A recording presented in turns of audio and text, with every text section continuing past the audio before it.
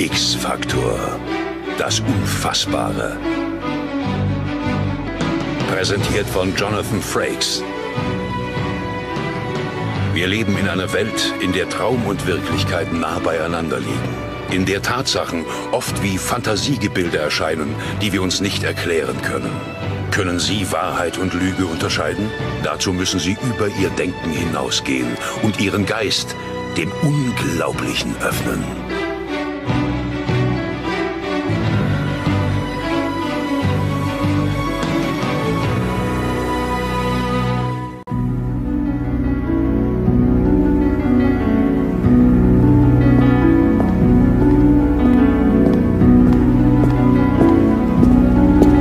Manchmal muss man sich die Dinge von allen Seiten ansehen, damit sie ein Bild ergeben, wie dieses Foto hier.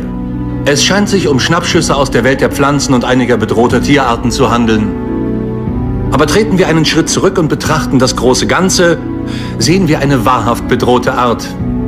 Den Fernsehmoderator, dessen Überleben allein von den Einschaltquoten abhängt.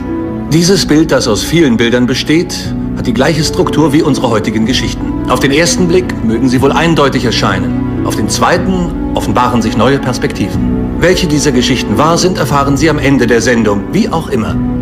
Wenn Sie das Gesamtbild nicht erkennen können, auch gut. Dann viel Vergnügen mit den Details.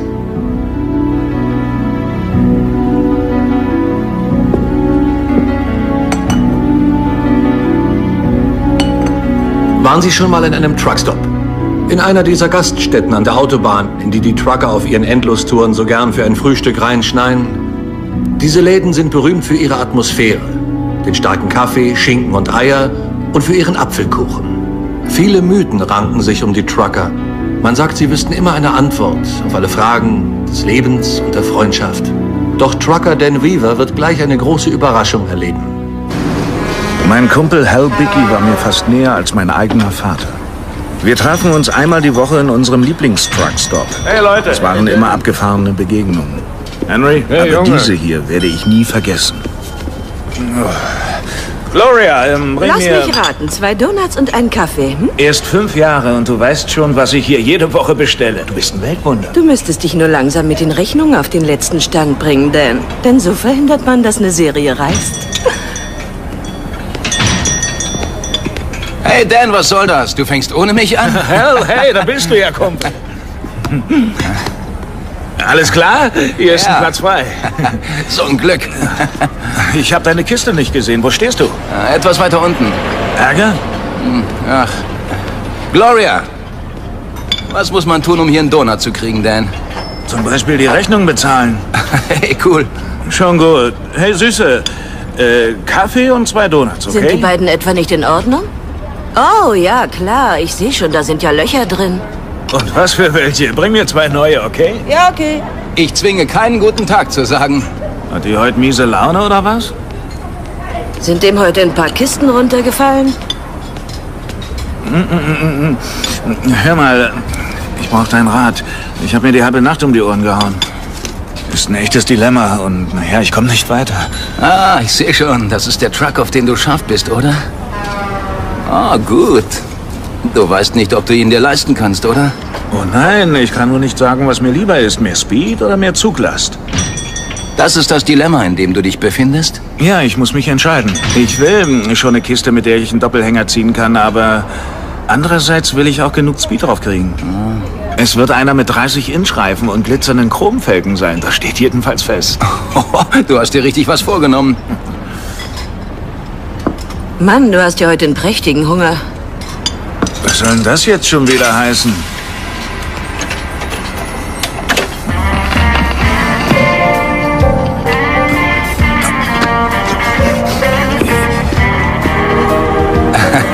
Hey, dieser Song, klasse.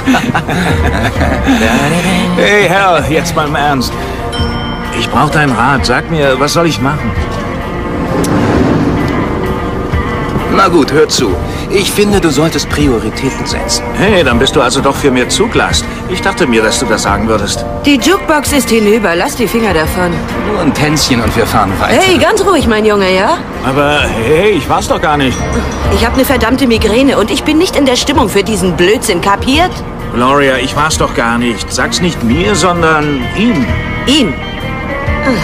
Du solltest eine Woche Urlaub machen, mein Freund. Und so lange passt du lieber auf deine Hände auf. Sonst. Du hättest was sagen müssen. Ich hab Ärger wegen dir. Dabei versuche ich dauernd, dir Ärger zu ersparen. Ich, ich, ich gehe mal kurz raus. Ich komme gleich wieder zurück. Ich brauche mal ein bisschen frische Luft.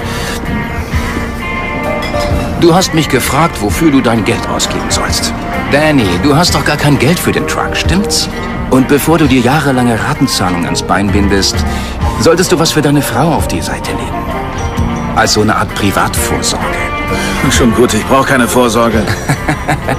Meine Frau, hör zu, die hat auch ihren Lebtag nie einen Dollar zurückgelegt. Also habe ich ein Konto eröffnet, von dem sie nichts weiß. Ich zahle jede Woche was drauf ein. Und wenn dir was passiert, dann weiß sie nichts von dem Geld. Darauf wollte ich hinaus, denn wenn mir was passiert, wirst du es ihr sagen. Du solltest auch eins für deine Frau eröffnen, nur zur Sicherheit. Ich bin jung, ich fahre gut. Was soll schon passieren? Du weißt nie, wann deine Zeit kommt. Hey, du bist ja schlimmer als Gloria. Und du lenkst vom Thema ab. Was ist mit dem Truck? Was ist denn mit deiner Familie? Oh, Eilfracht. Ich muss mich melden, Hal. Ja, ruf die Jungs schon an, Danny. Ich drück noch ein paar Songs.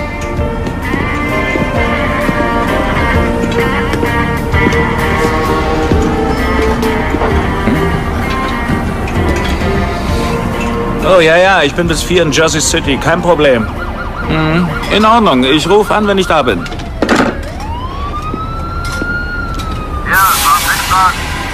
Hab mich total verkeilt. Hab verstanden, Barney. Gut, ich sag's weiter. Wo ist der denn hingegangen? Wer? Na, wer denn schon, Hal? Dan, hör zu, ich weiß nicht, wie ich's dir sagen soll, aber... Hal hat heute Morgen einen Unfall gehabt, kurz hinter Atlantic City. Ein ganz übles Ding. Oh, nein, das ist ganz unmöglich. Er ist doch eben noch hier gewesen. Nein, Dan, er ist tot. Sie haben gerade angerufen. Es tut mir leid, ich weiß, wie nah ihr euch standet.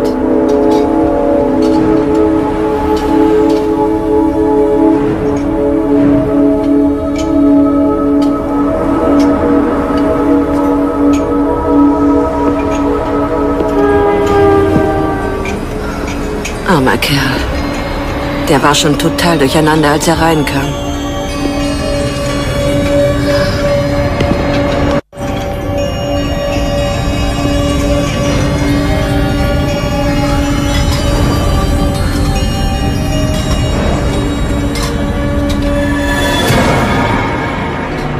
In diesem Augenblick suchte ich nach einer Erklärung für etwas, wofür es keine Erklärung gab. Gloria hatte Hal behandelt, als sei er unsichtbar. Vielleicht war er das auch. Für jeden außer mir. Natürlich erfüllte ich seine Bitte und erzählte seiner Frau von dem geheimen Konto. Und tatsächlich wusste sie nichts davon, wie Hal gesagt hatte. Und ich, ich habe inzwischen ebenfalls so ein Konto angelegt, wie es mir mein alter Kumpel Hal bei unserem letzten Treffen geraten hatte.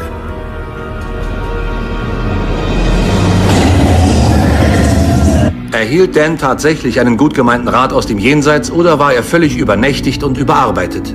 Aber wenn er sich das alles nur eingebildet hat, woher wusste er dann von dem Bankkonto, das Hal eröffnet hatte? Hatte Hal schon früher davon erzählt und Dan brachte nur alles durcheinander? Aber falls Dan sich geirrt hat, wer aß Hals Donuts? Eine letzte Frage noch. Sollten wir hier aufhören oder einfach fortfahren?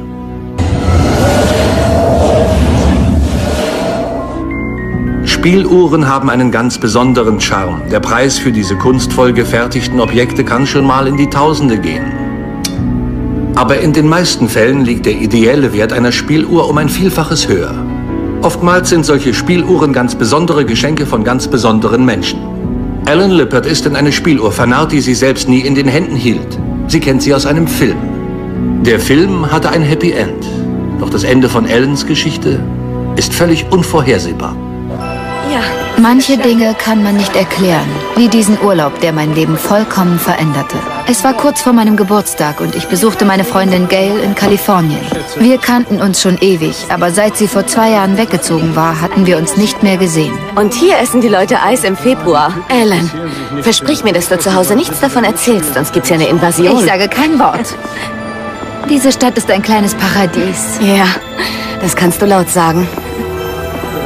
Ladies. Oh, Oh, ja, danke. danke.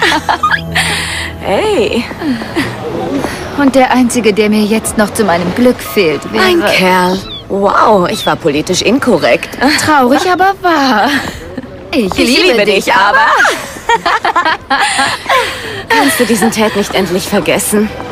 Ted, Es waren nur sechs Monate, Alan. es ist ja auch vorbei. Wirklich. Wir sind ziemlich lange befreundet. Und ich muss dir sagen, das war gerade die mit Abstand lausigste und hilfloseste Lüge, die ich je von dir gehört habe. Wir, wir hätten in 100 Jahren noch nicht erkannt, was wir eigentlich aneinander hatten, wenn wir zusammengeblieben wären. Er ist wirklich ein außergewöhnlicher Kerl. Wären nur nicht diese blöden Streitereien gewesen. Wegen nichts. Vielleicht war es ja meine Schuld. Jedenfalls haben wir uns wieder mal gefetzt und das war's eben. Worum ging's diesmal? Es war so unglaublich lächerlich, ich weiß es nicht mal mehr. Und? Triffst du dich mit anderen Typen? Eigentlich nicht. Und was treibt nun dein wunderbarer Ted? Das wüsste ich auch gern. Hat irgendeinen Job in einer anderen Stadt. Verkauft Radios oder so. Alles nur, um von mir wegzukommen. Also, wenn ihr euch nur in die Haare gekriegt Es gab auch noch andere Tage. habt. Und wenn schon. Sei froh, wenn du den Kerl vom Hals hast. Ich versuch's. Oh, was ist das denn? Was? Ich meine diese Spieluhr. Das ist ja... Genauso eine haben Ted und ich doch gesucht.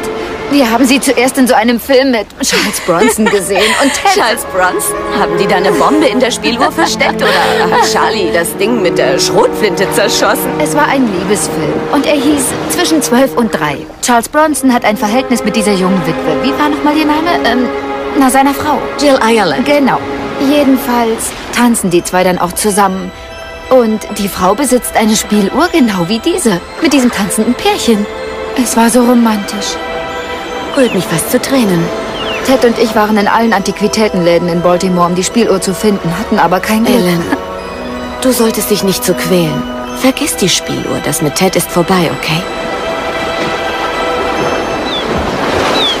Sehe ich auch so. Gut. Ich will sie aber haben.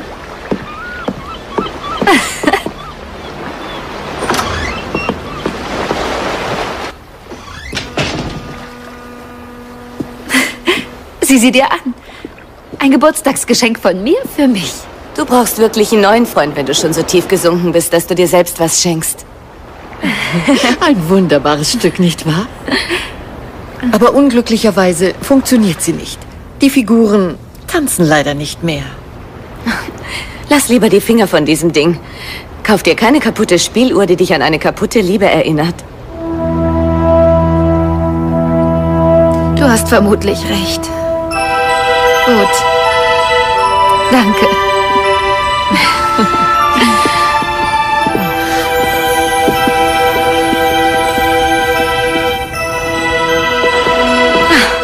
Ich weiß schon, was wir machen, um dich wieder etwas aufzuheitern. Keine drei Straßen weiter ist nämlich eine Eisdiele.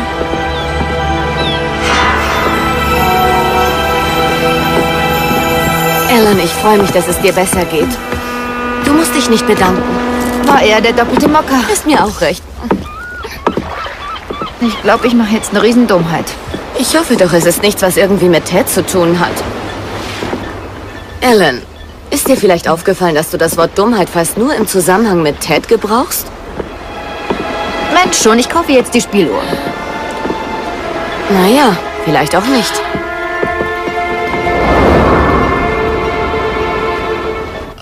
Es tut mir wirklich sehr, sehr leid, junge Lady. Aber ich habe die Spieluhr gerade verkauft. Oh nein! Ich sagte dem jungen Mann, dass sie nicht funktioniert. Und ich, dass es nichts ausmacht. Hallo, Ellen. Hallo, Ted. Äh, äh, Gail, ihr kennt euch noch nicht, stimmt's? Ist ja ein ziemlicher Zufall. Tut mir leid, ich hatte kein Geschenkpapier.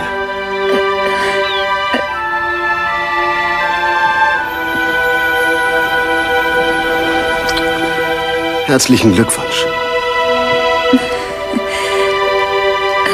Es ist perfekt. Ich habe noch nie so was Schönes gekriegt.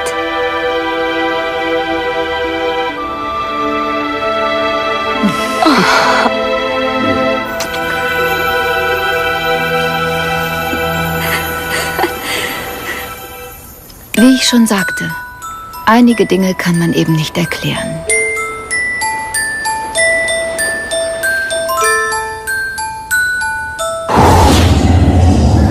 Hat nun das Schicksal Ted und Ellen wieder vereint? Oder liegt eine andere Erklärung nicht viel näher? Möglicherweise hat ja auch Ellens Freundin Gail die ganze Geschichte eingefädelt. Aber was war mit dieser Spieluhr? Gehörte der mysteriöse Defekt ebenfalls zu Gails Plan? Wurden hier tatsächlich zwei Liebende auf geheimnisvolle Weise wieder zusammengeführt? Oder ist die Geschichte zu schön, um wahr zu sein? Dies sind Ladensymbole.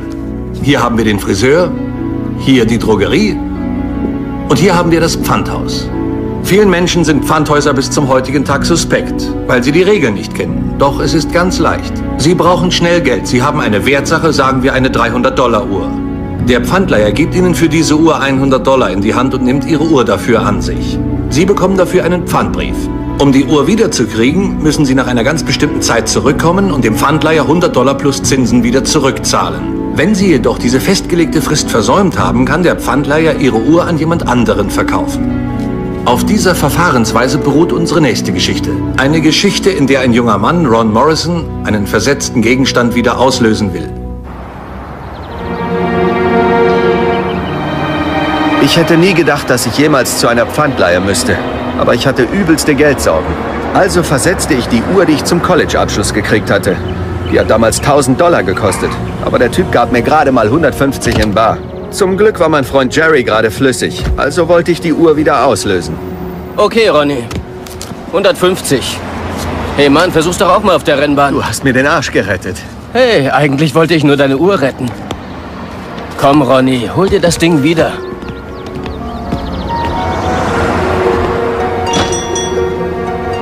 Hi, na wie geht's?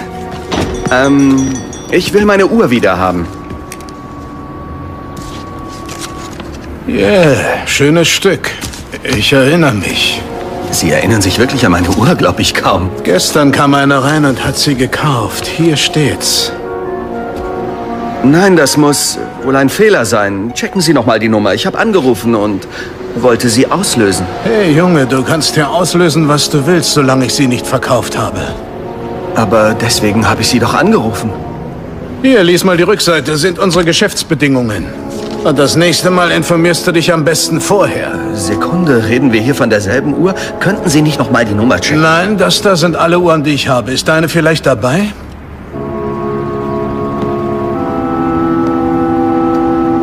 Mein Gott, Sie sind doch ein Lügner, Mann! Ich habe Sie extra angerufen und gesagt, dass ich Sie holen will. Hey, das Telefon klingelt den ganzen Tag. Vielleicht haben wir geredet, vielleicht auch nicht. Dann bin ich hier wohl der Lügner. Können wir uns denn nicht wie Gentlemen benehmen? Maul halten. Ich krieg das schon alleine hin, Jerry. Junge, du hast deinen Termin verpasst, hast nicht bezahlt, die Uhr ist weg, so ist das Leben, klar? Und damit Ende. Nein, jetzt geht's erst richtig los, Fettsack. Wollen wir wetten? Gut, hör zu, Junge. Ich wähle jetzt folgende Nummer 911 und die Bullen sind in drei Minuten Komm, hier. Ron, vergiss den Idioten. Wir sollten gehen. Hör auf deinen Freund, das war ein guter Vorschlag. Er hat recht. Ja, er hat recht. Sie sind wirklich ein Idiot. Wir sehen uns bald wieder. Oh Gott, wie erkläre ich das nur meinen Eltern? Vergiss es, er hat sie verkauft, Mann. Jerry, ich will meine Uhr wieder. Dieses Symbol da, es ist wie eine Rennbahnwette. 2 zu 1, dass die Uhr weg ist. Weißt du was? Das werden wir ja sehen. Am nächsten Tag ging ich wieder zur Pfandleihe. Okay. So ein Typ mit einem Sie roten Cap sah sich ein Gewehr an. Du schon wieder, zum letzten Mal. Ich hab die Uhr nicht mehr. Ja, dann schauen wir doch mal in Ihren Safe. Ja, gute Idee. Da wollte ich auch gerade reinsehen. Tu, was der Mann dir sagt. Los, Safe aufmachen. In Ordnung und ganz ruhig, Junge. Du kriegst ja, was du willst. Also nicht schießen, ja? Ich bin schon sehr gespannt. Könnte mal eine neue Uhr gebrauchen.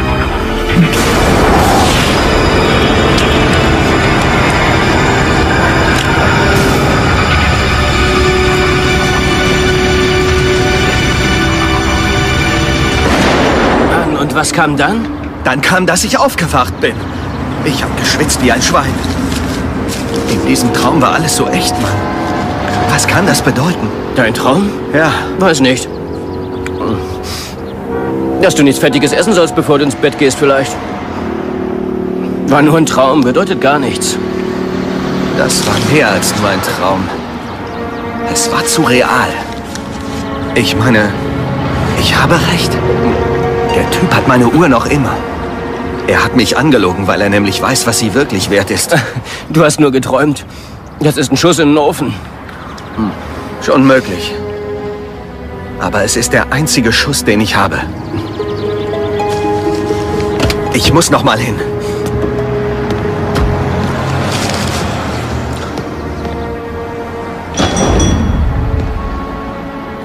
Es war genau wie in meinem Traum. Okay, Sie können sich's ja überlegen. Mach ich. Was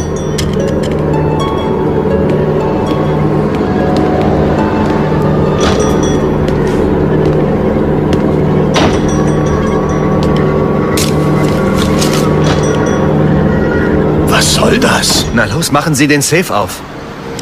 Geben Sie mir meine Uhr. Wenn du schon den Safe aufmachst, gib mir die Uhr und alles, was sonst noch drin ist, okay? Raus hier, verstanden? Niemand wird meine Uhr stehlen.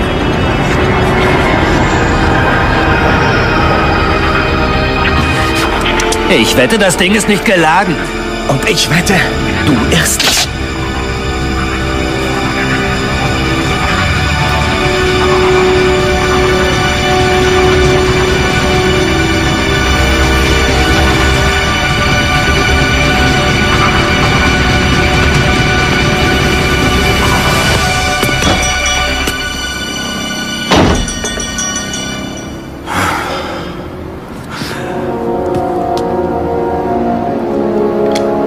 Danke, Junge.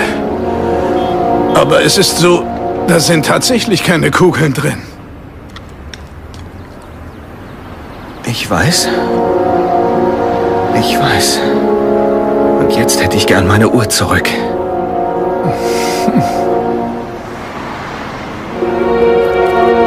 Obwohl ich meine Uhr auf diese Weise wiederbekam, hätte ich niemals nach dem Gewehr greifen dürfen. Ich hatte Glück. Kleine Anerkennung. Großes Glück. Von nun an werde ich tagsüber das Geld zusammenhalten. Nicht? Und nachts nicht mehr träumen.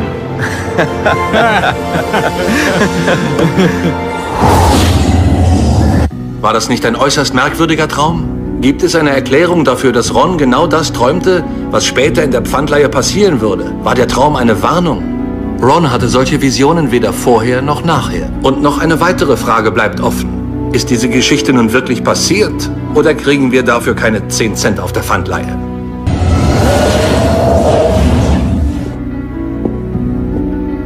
Fast jeder kennt jemanden, der einen Partner sucht. Natürlich lässt sich damit auch viel Geld verdienen. Zum Beispiel über Heiratsannoncen in Zeitungen, die die einsamen Herzen aufgeben. Man kann sich auch Videokassetten mit anderen Heiratswilligen bestellen oder man schaut ins Internet.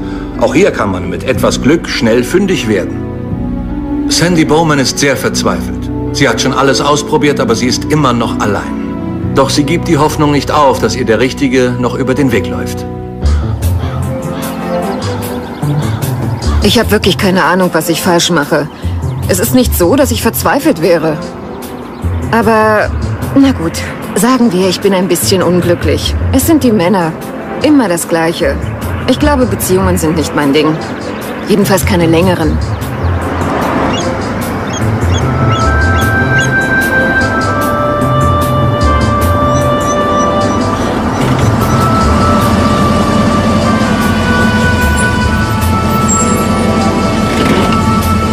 Ich war in Selbsthilfegruppen, bei Paarberatungen, habe versucht, wirklich erwachsen zu werden, habe meditiert, etwa 30 Religionen ausprobiert und bin keinen Schritt weiter. Schließlich hatte meine Freundin Marsha wieder mal eine Idee. Sie empfahl mir diese Frau. Sie soll eine, bitte nicht lachen, naja, Wahrsagerin sein. Zumindest hatte sie einen komischen Namen. Mrs. Hatchigin. Hallo. Hi. Sie kommen von weit her? Ja, ja, das stimmt. Woher wissen Sie das? Ich sehe es an Ihren Nummernschildern. Kommen Sie. Sie waren die Jüngste in Ihrer Familie. Drei Schwestern. Ja, genau. Alle verheiratet. Alle bis auf Sie. Kein Ring. So ist es. Im letzten Jahr hatten Sie eine Beziehung. Sie ging in die Brüche. Aber sie gehen immer in die Brüche. Ich glaube langsam... Ich fürchte fast... Ich finde niemals den Richtigen. Deshalb bin ich ja hier. Bitte sagen Sie mir, was Sie sehen. Finde ich diesen Mann?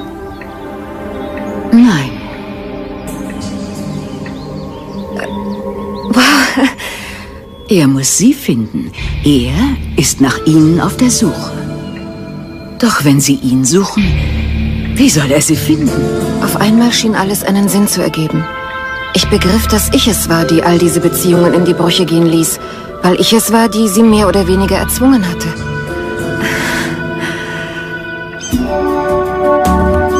Es war zwar nicht die Antwort, die ich erhofft hatte, aber sie war dennoch wegweisend. Ich war zu sehr darauf versessen, den Richtigen zu suchen, anstatt mich zu öffnen und mich einfach von ihm finden zu lassen. Ein paar Tage später fuhr ich aufs Land, um Marsha zu besuchen. Ich wollte ihr von meinem Besuch bei Mrs. Hatchigin erzählen und ihr gleich die gute Neuigkeit berichten. Mrs. Hatchigin hatte jemanden gesehen, der schon sehr bald in mein Leben treten würde. Ich wusste ja nicht, wie bald.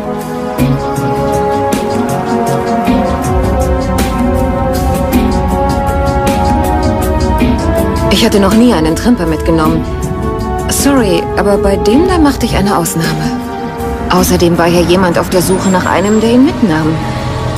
Vielleicht war es ja nicht das Einzige, was er suchte. Sie retten mir das Leben. Ein Freund hat mir seinen Wagen geliehen. Und jetzt habe ich einen Platten, aber leider ist kein Wagenheber im Kofferraum. Ich bin Chad. Sandy. Und wie geht's? Gut. Kann sein, dass ich einen habe. Das wäre großartig. Ich fahr mal zur Seite.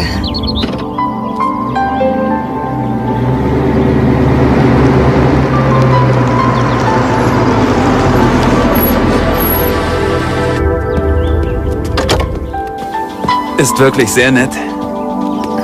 Danke.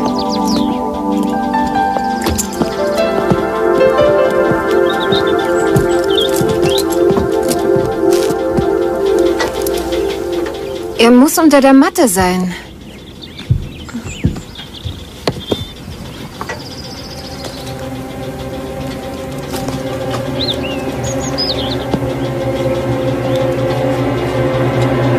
Was tun Sie da?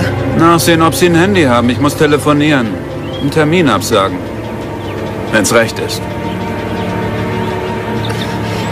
Geben Sie mir die Tasche wieder. Ich, ich, ich gehe jetzt, es reicht. Oh nein, Sie gehen nicht. Sie steigen in den Kofferraum. Na los doch. Wir haben was vor. Was ist denn? Was soll das?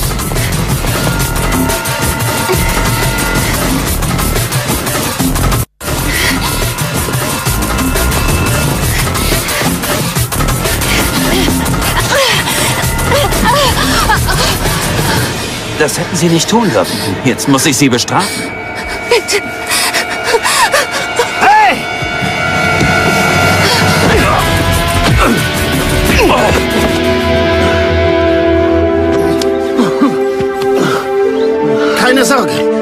Falls Sie ein Handy haben, rufen Sie die Polizei.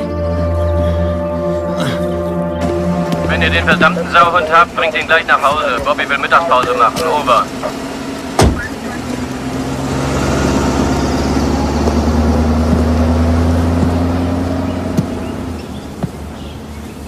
Alles in Ordnung? Das wird schon. Ja, ja, mir geht's gut. Ja, keine Sorge. Mann, sein Glück, dass ich Sie gefunden habe.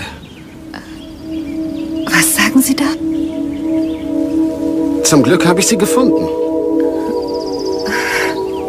Ja, allerdings, das kann man so sagen, ja. Äh, Verzeihung, äh, habe ich was verpasst? Nein, nein, ich, ähm, alles in Ordnung. Äh, wie war Ihr Name? Oh, Steve. Sandy. Steve Hedgigan. Hedgigan. Naja, sehen Sie, es ist ein ziemlich seltener Name. Neulich erst habe ich ihn irgendwo gehört. Tatsächlich? Tatsächlich. Trinken wir vielleicht beide einen Kaffee? Na klar, trinken wir beide einen Kaffee. Ja? Ja. Seit diesem Tag glaube ich nicht mehr so recht an Zufälle. Denn Steves Mutter hatte mir gesagt, dass ich bald den Richtigen finden würde. Ich meine, dass er mich findet. Danke, Mrs. Hedgigan. War das alles nur ein Zufall? Oder hatte Steve schon von Sandy gehört, denn schließlich war sie kurz zuvor bei seiner Mutter? Vielleicht hatte er nur auf den richtigen Moment gewartet, aber wie, wie konnte er wissen, wo Sandy an diesem Tag sein würde? Oder wo dieser Gangster ihr auflauerte? Nun, Ihre Aufgabe ist es, sich zu entscheiden. Hat sich hier eine Prophezeiung erfüllt? Oder war alles Hokuspokus? Oft ist es nicht leicht zu erraten, wozu einige Gegenstände gut sind. Dieses Gerät hier, das könnte eine Mini-Raumkapsel sein oder auch äh, ein kleiner Torpedo. Aber es ist eine der allerersten Automobil-Klimaanlagen. Dieses Rohr passte genau in das offene Fenster eines Autos, sodass die Luft darin zirkulieren konnte. Und was ist das für ein Ding? Ein Hefter? Eine Lochstanze? Falsch. Damit entkernt man Kirschen. Die Kirsche kommt in die Einlage, dann drückt man einmal und schon ist der Kern weg. Das Objekt, das Sie gleich sehen werden, ist auch ziemlich exotisch. Seine Handhabung ungewöhnlich. Es gelang in den Besitz des Antiquitätenhändlers Hugh Santelli, doch wozu es gut ist, das gilt es herauszufinden für Mr. Santelli. Und für Sie auch. Schon als junger Mann habe ich keinen Gedanken an das Übernatürliche verschwendet. Und später schloss mein Beruf die Hingabe an solche Dinge kategorisch aus. Ich orientiere mich an der kalten Realität. Denn, sehen Sie, ich bin Leichenbestatter. Hugh Santelli, ein lieber Kerl. Ihm gehört der Laden nebenan. Er hat einen rauen Charme, aber ich schätzte mich glücklich, ihn meinen Freund zu nennen. Ich erinnere mich noch genau an den Tag, an dem wir unsere kleine Wette Gib mir noch abschlossen. einen. Okay. Hast du ihn? Ich hab ihn. Hast du ihn? Ich hab ihn. Ich sag doch, ich hab Ein ihn. paar neue Möbelstücke, wie ich sehe. Hi, wie geht's? Gut, danke der Nachfrage. Schön. Ja, ja, die Peterson Ranch. Ich habe alles gekauft, was noch da war. Peterson. Oh ja, den habe ich letztens bestatten lassen. Vielleicht sollten wir uns zusammentun. Du verbuddelst die Brüder und ich kauf ihre Möbel. Möbelstücke dieser Qualität sind heute selten geworden, ha? Hey, ich habe was gekauft, was dir gefallen wird. Einen ganz alten Schirmständer. Oh, hey! Oh Mann, was für ein Glück. Das ist so ein Mist, den man mitkaufen und dann irgendwann wegschmeißen muss. Du weißt nicht, was das ist, oder? Hm. Nein, hat mir noch keiner erklärt. Halt doch mal dieses Porzellanding. Hier. Oh, das geht noch. Ich kenne eine Kapelle auf dem Land, die können das bestimmt brauchen. Das hier ist kein Musikinstrument, Santelli. Es ist ein Todeshorn. In meinem Metier einst gang und gäbe. Hä? Was soll das sein? Ein Todeshorn. Vor langer Zeit, als medizinische Kenntnisse noch nicht weit verbreitet waren, kam es durchaus vor, dass man Menschen irrtümlich beerdigte. Oft waren das komatöse Patienten, die einfach nur kein Lebenszeichen von sich gaben. Was hat das Horn damit zu tun? Viele fürchteten sich vor einer solchen Beerdigung. Sie ließen sich mit diesen Hörnern beisetzen, deren Trichter knapp über der Grasnarbe zu liegen hatten. So ein Quatsch. Es ging um Folgendes. Wenn du in deinem Sarg aufwachst, dann nimmst du das Horn, bläst hinein und wartest, bis Hilfe kommt. Der Fortschritt auf dem Gebiet der Medizin machte das Horn schließlich überflüssig. Jedoch, äh, aus sentimentalen und beruflichen Gründen würde ich es sehr gerne erstehen. Für ähm, 23 Dollar? Soll wohl ein Witz sein. Die Tröte ist was Besonderes. Die verkaufe ich lieber an ein paar, ähm, wie soll ich sagen, exzentrische Vögel. Oh, eine gute Theorie, mein Freund. Doch wenn du sie wirklich darüber aufklärst, wozu es benutzt wurde, wird es keiner kaufen. Du vergisst, mit wem du redest. Die Zusammenkunft von Geld und Tod ist immer nur für eine Seite unerfreulich. Sieh dir nur meine Kundenliste an. Hey, ich verkaufe diese antiken Bettwärmer an alte Damen mit Zentralheizung. Und ich verkaufe auch dieses Baby. Eine waghalsige Dummheit, ganz sicher. Vielleicht verbinden wir das Ganze mit einer kleinen Wette. Wette? Meinetwegen. Hör zu, ich verkaufe das Ding bis Ende der Woche oder es ist deins. Und ein Essen zusätzlich, dann wird es noch interessanter. Okay, also bis Ende der Woche dann. Ein Essen im Piantis. Italienisches Essen. Magst du doch sicher. Ist die Nudel nie, bevor sie gekocht ist. Santelli tat alles, um diese Wette zu gewinnen. Mr. Yamaguchi, gut, dass Sie reinschauen. Das hier ist ein ganz besonders kostbares Todeshorn. In Amerika wurde es den Toten früher in den Sarg gelegt. Und was ist mit dieser Postkutsche? Das hier wäre was für Sie, Lady. Ihre Kunden werden staunen. Es ist alles aus Ebenholz. Es ist ein altes Todeshorn. Die ist wirklich schön. Hört zu, in den alten Tagen legten sie das Horn mit in die Särge rein, weil die Leute manchmal zu früh beerdigt wurden. Und wenn sie im Sarg aufwachten, mussten sie einfach nur reintun. Na, wie sieht's aus? Über den Preis können wir verhandeln. Ich würde jedes vernünftige Angebot annehmen. Kein Glück gehabt? Bis morgen. Gute Nacht. Nacht. Hi, Süße. Tut mir leid, du bleibst heute allein. Hab die Wette verloren und muss Lockwood ein Essen spendieren. Was denkst du, wie ich mich fühle? Nein, wird ganz lustig. Na gut, ich komme so schnell ich kann. Bis nachher.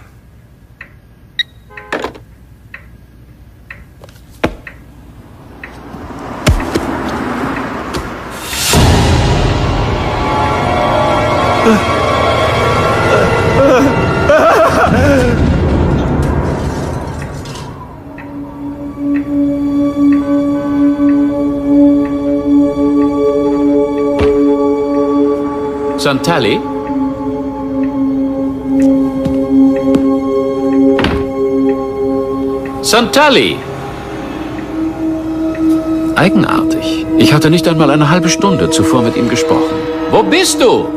Ich schlug vor, wir treffen uns im Chiantis. Doch ihm war es lieber, von seinem Laden aus gemeinsam hinzufahren. Wenn er sich nun anders entschieden hatte, warum war dann die Tür nicht abgeschlossen?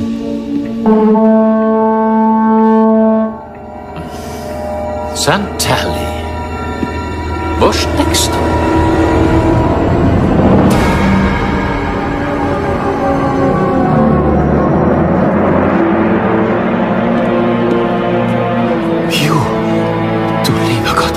Zwar schlug sein Puls noch, doch ich hatte das Gefühl, in das Gesicht eines Toten zu sehen. Ja, schnell einen Krankenwagen. Riverside, Santellis Antiquitätenladen. Ich konnte es mir nicht erklären. Santelli lag hier auf dem Boden, doch zweifelsohne hatte jemand das Todeshorn geblasen.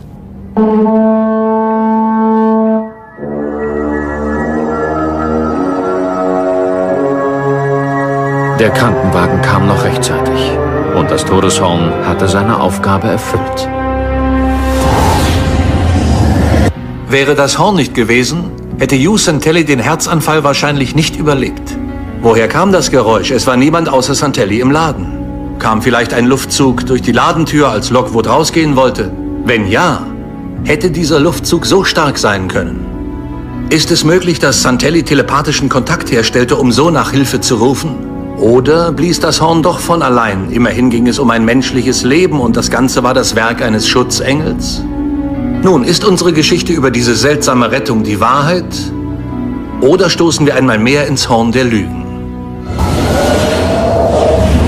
Nun wollen wir sehen, welche unserer heutigen Geschichten tatsächlich der Wahrheit entsprechen und welche wir erfunden haben. Was ist mit diesem Truckstop, in dem ein unsichtbarer Geist frühstückte? Wahr oder nur erfunden? Ich finde, du solltest Prioritäten setzen. Hey, dann bist du also doch für mehr Zuglast. Ich dachte mir, dass du das sagen würdest. Die Jukebox ist hinüber. Lass die Finger davon. Nur ein Tänzchen und wir fahren weiter. Hey, ganz ruhig, mein Junge, ja? Aber hey, ich war's doch gar nicht. Ich habe eine verdammte Migräne und ich bin nicht in der Stimmung für diesen Blödsinn, kapiert? Gloria, ich war's doch gar nicht. Sag's nicht mir, sondern ihm. Ihm? Du solltest eine Woche Urlaub machen, mein Freund. Und so lange passt du lieber auf deine Hände auf. Sie denken, das hätten wir uns ausgedacht? Ganz recht, das haben wir auch. Und die romantische Geschichte über die Spieluhr, durch die ein Pärchen wieder zusammenfand, wahr oder erfunden? Sieh sie dir an. Ein Geburtstagsgeschenk von mir für mich. Du brauchst wirklich einen neuen Freund, wenn du schon so tief gesunken bist, dass du dir selbst was schenkst. Ein wunderbares Stück, nicht wahr? Aber unglücklicherweise funktioniert sie nicht. Die Figuren tanzen leider nicht mehr. Lass lieber die Finger von diesem Ding. Kauf dir keine kaputte Spieluhr, die dich an eine kaputte Liebe erinnert. Sie halten die Geschichte für erfunden. Sie liegen daneben, denn es geschah 1995 in Westkalifornien.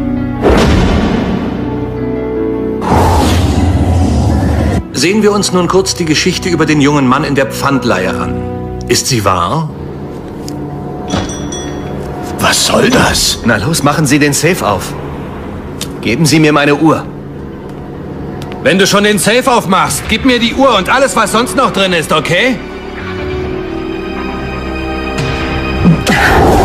Raus hier, verstanden? Niemand wird meine Uhr stehlen.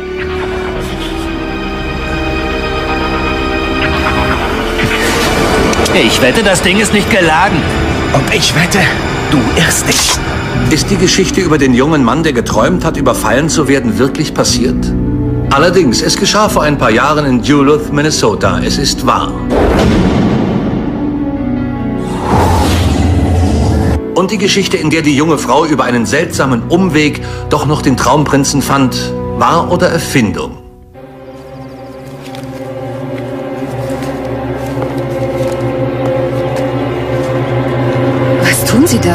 Nachsehen, ob Sie ein Handy haben. Ich muss telefonieren. Einen Termin absagen. Wenn's recht ist. Geben Sie mir die Tasche wieder. Ich, ich, ich gehe jetzt, es reicht. Oh nein, Sie gehen nicht. Sie steigen in den Kofferraum. Na los doch. Wir haben was vor. Was ist denn? Was soll das?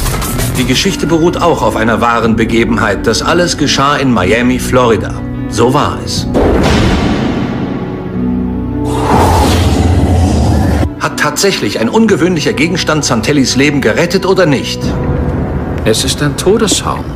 In meinem Metier einst gang und gäbe. Hä? Was soll das sein? Ein Todeshorn. Vor langer Zeit, als medizinische Kenntnisse noch nicht weit verbreitet waren, kam es durchaus vor, dass man Menschen irrtümlich beerdigte. Oft waren das komatöse Patienten, die einfach nur kein Lebenszeichen von sich gaben. Was hat das Horn damit zu tun? Viele fürchteten sich vor einer solchen Beerdigung. Sie ließen sich mit diesen Hörnern beisetzen, deren Trichter knapp über der Grasnarbe zu liegen hatten. Denken Sie, so ist es gewesen? Falls ja, dann haben wir Sie hinters Licht geführt. Kein Wort wahr, alles falsch. Die Folgen sind also vorbei. Wenn Sie so etwas mehr sehen möchten, vergessen Sie nicht, die Glocke zu aktivieren, damit Sie nichts verpassen. Bitte hinterlasse auch eine positive Bewertung, damit ich weiß, ob dir dieser Inhalt gefällt. Fühlen Sie sich frei, Ideen in den Kommentaren zu schreiben. Bleibt gesund und ciao.